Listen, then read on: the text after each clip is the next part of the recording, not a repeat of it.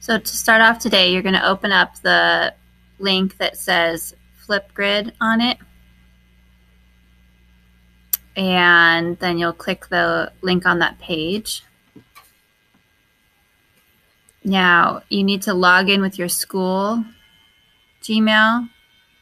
I'm not doing that so that I can show you how to get in. Um, but you're going to use your school email. Once you're in here, then here are the questions that you need to answer during your recording. You're going to hold up your artwork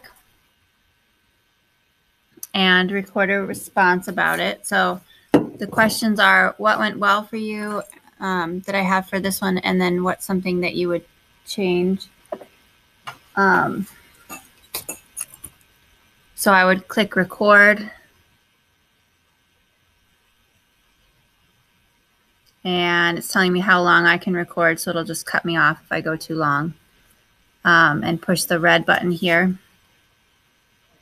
Then I start recording. I would make sure I hold up my project so that I can see it on camera well, answer those questions. Okay.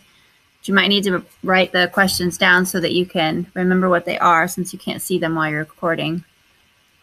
And then when you're done, you just push the pause button and you can push next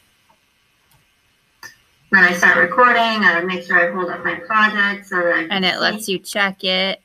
And I put then I push next. Um, you can take a picture.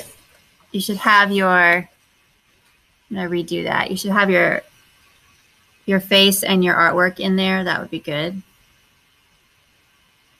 Um, clearly, I'm not good at taking selfies. And then it's going to upload. Um, you can add a title or any other things you want to tell us about your work here. And then submit. Okay.